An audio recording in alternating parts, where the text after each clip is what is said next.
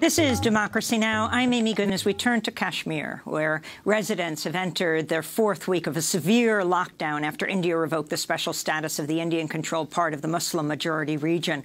On August 5th, India imposed a curfew, cut off all communications to the region. Agence France-Presse reports as many as 4,000 people, including many political leaders, have been detained. The New York Times has put the number of people detained at 2,000. Local residents report facing increasing shortages of food and medicine. Over the weekend, India blocked a delegation of Indian opposition politicians from visiting Kashmir, including Rahul Gandhi, the former president of the Indian National Congress. India's actions have also led to a spike in tension with its nuclear-armed rival Pakistan, which also claims control of Kashmir. The two nations have fought two wars over the area. While India has shut down telecommunications and the internet in Kashmir, some first-hand accounts of what's happening are emerging. We recently spoke to Kavita Krishnan of New Delhi, India. She's a leading women's rights activist in India who just returned from a fact-minding mission to Kashmir. She's the secretary of the All India Progressive Women's Association, a member of the Communist Party of India Marxist-Leninists. I asked her to talk about what she found during her visit. The situation we found in Kashmir just uh, days after this decision to take away Kashmir's autonomy, uh, the situation was very bad. We felt that the whole of Kashmir was one big jail and people were uh, really suffering very badly. They were unable to communicate with each other. Any Kashmiri protests were being met with the most brutal kinds of crowd control, including pellet guns and tear gas. And um, Kashmiri people were, were feeling terribly betrayed because their leaders, as well as the people themselves, are all kind of locked up. And so decisions are being taken uh, about the Kashmiri people without any semblance, even a pretense of consulting them, even a pretense of democratic process. So what is left of the contract between Kashmir and India, which was this special status, Article 370, uh, is basically nothing. And so all you're left with is um, open kind of brutal military control of the Kashmiri people. So the situation was indeed very, very bad. You've described the situation as under complete siege, and even young children are being arrested as an act of intimidation. Uh, explain what you saw and who you talked to on the ground. Yes, uh, so we tried to meet as many ordinary people, Kashmiri people, as possible uh, of diverse communities, in different parts of Kashmir. So that included urban Srinagar as well as various parts of rural Kashmir. And we were probably the first team to do this because most journalists had not ventured out of Srinagar or even out of a small enclave in Srinagar till we did so. And what we found there was that uh, people were wanting to protest. They were very upset, but they could not protest because peaceful protest is not allowed, A. And also the fact that in many of the households in rural Kashmir, young children had been picked up by the police completely illegally. So they were being illegally detained in police stations or army camps. And so uh, the parents would be so fearful for the safety of their children that they would not be able to voice any protest. And uh, this is what we found there. We also spoke to a lot of Kashmiri women and girls who were especially angry that the Indian Prime Minister and the uh, Indian government was talking about liberating Kashmiri women. And they were upset because the leaders of the ruling party in India were talking about Kashmiri girls as though they are the spoils of war and saying, oh, Indian men can now get fair Kashmiri brides and things like that. So there was a lot of anger and a lot of sense uh, that Kashmir, Kashmiri people didn't count, that Kashmir has been reduced to territory which is um, being treated by the Indian government uh, as though um, it, it is a Muslim territory to be conquered by a Hindu majoritarian government. Seven million people have been confined to their homes without any communication for more than two weeks in disputed Kashmir. This is Ishrat, a Kashmiri woman from Srinagar. For 12 days, we have been locked inside our houses. We cannot go out of our homes. We cannot go and get medicines. We have small children, and we can't even go and buy toffees for them. There is nothing for us. We have relatives outside, brothers and sisters in countries outside, but we have no contact or news of them. We have absolutely no information about their well being. So how are you getting information now, Kavita Krishnan, as you've left the territory and you're back in New Delhi? Well, after we got back, uh, we found that uh, you know journalists have started going. So some journalists uh, of some uh, independent portals and papers have started doing uh, very good work, very uh, reporting from there. Although they've also been talking about how difficult it is to report from there. So Kashmir-based journalists, Kashmiri journalists are saying that the armed forces are forcing them to delete their footage, video footage, as well as uh, taking away uh, other material that they have. And Kashmiri papers are finding it hard to even come out because they're even finding it difficult to get newsprint. So uh, reporting from Kashmir is still very difficult, but uh, still uh, there are some journalists on the ground doing a great job. Last week, the Kashmiri political leader Shah Faisal was interviewed on BBC from New Delhi, where you are right now, Kavita. Um, Faisal was asked whether he had exaggerated the extent of India's control over Kashmir. He was detained shortly after this interview. Most of uh, the political leaders who belong to my political party and all other political parties have been detained uh, I am the only person from the all-party meeting which met there in Srinagar on 4th who's free and honestly speaking, I'm ashamed of myself that I'm free at a time when the entire leadership of Kashmir is under, you know, uh, in jail and all the 8 million people have been imprisoned. Do you think, in all honesty, when uh, this interview is done and perhaps over the next few days you'll try to go back uh, to Kashmir, do you think you will be free for long? Police has come to my home a couple of times after I left and it's also a story in itself the way I reached airport and, and came to Delhi. Uh, because of communication breakdown, maybe people could not communicate uh, to their higher-ups about my escape from the airport, but I am very much apprehensive that soon after I leave from here, I may be detained like anybody else. So that's Kashmiri political leader Shah Faisal. Right after this interview, by the way, in it he said he was ashamed he hadn't been arrested. In fact, as he left, um, he left the studio and went to the airport, he was arrested and has not been released since then. Can you talk about his significance? Um, his own father was killed by Kashmiri separatists. That's right. And Shah Faisal, as well as many of the leaders who were arrested, are in fact uh, people who were seen as pro-India in the valley. They were seen by Kashmiris as being a part of a middle ground that was arguing for uh, continuing the relationship with India and uh, remaining part of the Indian Union.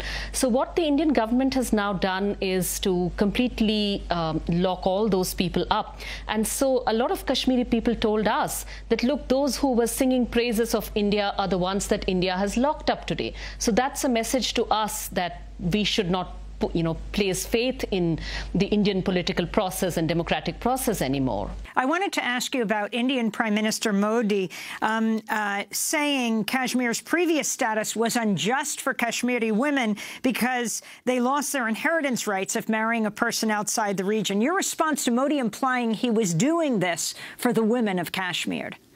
Yeah, so that's uh, the Kashmiri women had the best response to this. They said that, look, we're fighting patriarchy here, but so are you, aren't you? Uh, women are fighting patriarchy in their own cultures and societies all over the world. But who are our oppressors to be claiming to liberate us? And it's especially galling to hear this, these uh, words from Modi when his party men are actually saying things like, oh, now that, uh, you know, now our Indian men can get fair Kashmiri brides. And so Kashmiri girls and women would tell us, you know, we're being talked about as though we are the spoils of war, as though we are apples and peaches of Kashmir for somebody to just steal. Um, so this is rape culture language coming from the ruling party in India towards Kashmiri girls and women. Um, before we end, I wanted to ask you about the significance overall of what is happening uh, and what Modi has done, what this means for Kashmir when you pit two countries, India and Pakistan, yes. both nuclear rivals. Um, is Could this be a trigger for some kind of nuclear attack? And how do you see, and what are you calling for, um, the resolution in Kashmir? Right. Uh, well, um, for the first time uh, ever, India recently uh, said that it would not uh, have a no first use policy. So we are probably the first country in the world to say we will not have a no first use nuclear policy. And uh, so indeed, there is a, a, very real danger of a nuclear armed conflict here. But also, I would say that, uh, you know, the issue is not just a bilateral one. When Kashmir is treated simply as a something which India and Pakistan are fighting over, I think think that that is an injustice to the Kashmiri people because I think that any resolution should respect the fact that the status and the political future of Kashmir, um, Kashmiri people need to have a say in that. And uh, that is what we need front and center. And also, uh, India needs to you know, uh, as, a, as a start towards this, India needs to withdraw its military presence from the civilian landscape of Kashmir. It needs to uh, actually address the long history of very terrible human rights violations there, including mass graves and custodial torture, custodial violence, custodial rape. All these allegations uh, need to be really uh, addressed. And um, that would just be the smallest step in the direction of actually resolving this conflict respectfully uh, with, with respect respect uh, for the Kashmiri people and their voice. President Trump and Prime Minister Modi of India have a very close relationship. Um, can you talk about whether you think Islamophobia plays a role in this? Uh, certainly, I think that Islamophobia plays a huge role because um, with the Indian government right now, uh, they know that what you know, what they're doing in Kashmir, they know that's not going to resolve the Kashmir conflict. What they what they are doing is that they are projecting uh, this victory over Kashmir, this triumph over this rebellious Muslim province, which is how they project it. Um, to do their politics in uh, India as a whole and to say that basically Muslims by their very nature tend to be pro-Pakistan and anti-India, you can't trust Muslims and all of that. And therefore, I think that, you know, the ways in which Trump dealt with the disputed territory of Jerusalem and just declared it unilaterally to be an Israeli capital is uh, similar to the way in which Modi is dealing with Kashmir. And uh, you have, in fact, Hindu majoritarian groups in India which have expressed a lot of um, admiration for uh, Donald Trump uh, be precisely because of his Islamophobia. There's also a link between Israel and India um, and the BJP government in India because the ruling Bharatiya Janata Party, they really look at Israel as a model for the way Israel treats its minorities, for the way Israel uh, is basically openly a Jewish state. They want India to be a Hindu state in the same way, and also for the way Israel treats Palestine. They want India to treat Pakistan that way. Um, Kavita Krishnan, if you can talk about the response inside Kashmir right now, what kind of opposition is there? And also in India, what kind of opposition is there to Modi's move in Kashmir? Can you talk about the peace movement? See, in Kashmir, there is um, there are some sporadic protests. As I said, wide-scale protests are probably extremely difficult now, given the paramilitary, uh, complete paramilitary control over such a large part of Kashmir. But what a lot of people told us is that what they would like to do is to be able to protest peacefully, you know, to be able to protest the way people are doing in Hong Kong, for instance. They said that we would like to be out on the streets of Srinagar in thousands and peacefully without expecting bullets and pellet guns. In India, on the other hand, I would say that uh, while, of course, uh, the Indian government has got a whole lot of support from very wide quarters because of the lack of knowledge about, uh, you know, the history of Kashmir's accession to India and because of Islamophobia, there are still protests by left organizations, by people's movement and civil liberties groups, um, and young students and women's organization groups and all of these. Uh, they have had uh, quite significant large protests in major cities as well as small towns, basically uh, making various uh, points here, saying, you know, pointing out that if Modi government said that this status, autonomous status was a temporary provision and they can do away with it, they look at India's constitution itself as a temporary provision and they want to get rid of that as well. They want to get rid of affirmative action for uh, the oppressed castes in India, uh, which is something Modi's organization, the RSS, said just very recently, just the other day, that uh, we need a dialogue to, you know, discuss what to do about affirmative action. They have always seen affirmative action also as a temporary provision. So we've tried to make, you know, do what we can to have Indian people, um, people all over India, empathize with the situation of the Kashmiri people now and stand up for them right now. You were there during one of the most sacred Muslim holidays, Eid. Um, can you talk about the timing of Modi's yes. announcement at Eid? Yes, uh, I think Kashmiri people felt that this was an special, you know, piece of cruelty that the Islamophobic Modi government had unleashed on them. They, many of them told us, you know, even if he had to do this, couldn't he have done it after Eid? Because, um, you know, their entire Eid was spent uh, in mourning, in, in worry and fear about their young boys who were in police or army custody. And uh, we found that no one was celebrating Eid. Many, many in rural Kashmir were not allowed to go to the mosques, or the mosques were not allowed to broadcast the prayers from there, the, the uh, you know, the, the the speeches from the mosque, which are usually done. And apart from very small children, no one even wore new clothes on Eid. And many of them could not afford, because they hadn't been earning for more than a week, they could not afford to get home, you know, nice things to eat and, uh, you know, the sacrifice that is done on Eid and all of that. So there was a terrible sense of mourning and sadness there and a feeling that this was especially cruel on part of the Modi government. And Pakistan asking the UN Security Council to intervene uh, in this. What would this mean? Well, I, I, wanted to talk briefly about the significance of that because I think that um, for a long time, since 1972, there's been an international acceptance that Kashmir is a bilateral issue after the Shimla Accord between India and Pakistan. And um, since then, there's not really been that much international discussion of Kashmir. But I think Modi's move essentially breaks this Shimla agreement.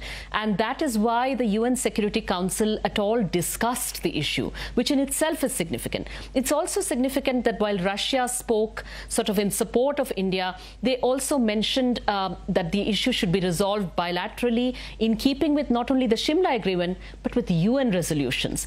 I think that this must be the first time in decades um, um, since you know since 1972, I don't think any major um, international country would have mentioned the UN resolutions on Kashmir in this manner. So I think that for uh, you know uh, whether it will really push towards a resolution or not, I, uh, one cannot say. But definitely, uh, the Modi government has pushed the issue in the direction of internationalization of uh, the Kashmir dispute once again. Is there any other thing you would And like that is seen as a diplomatic failure on part of the Modi government. Is there anything else you'd like to add yes. for a global audience to understand what's happening right now in Kashmir and what would you like to see, uh, how you would like to see this resolved? Yes. Yes. See, I think that uh, for a global audience, I think um, you know the the tendency to look at such issues cynically.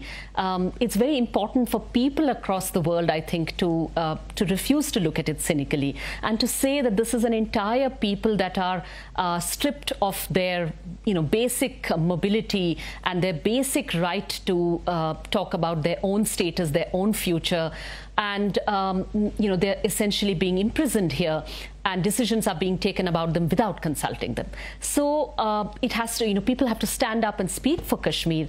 And also they have to realize that the Indian government, you know, is taking this, this is only the first move of the Indian government in the direction of very speedily pushing India in the direction of becoming a Hindu majoritarian um, country, uh, totalitarian country. And so people really need to speak up in solidarity with people in India, with people in Kashmir. Yes. Kavita Krishnan in New Delhi, India, leading women's rights activist in India. At the G7 summit today in France, Prime Minister Narendra Modi has reportedly rebuffed President Trump's offer to mediate the dispute over Kashmir, where between two and 4,000 people have been detained. That does it for the show. Happy birthday to Vesta Gudars and Jeremy Cavallona. I'm Amy Goodman. Thanks for joining us.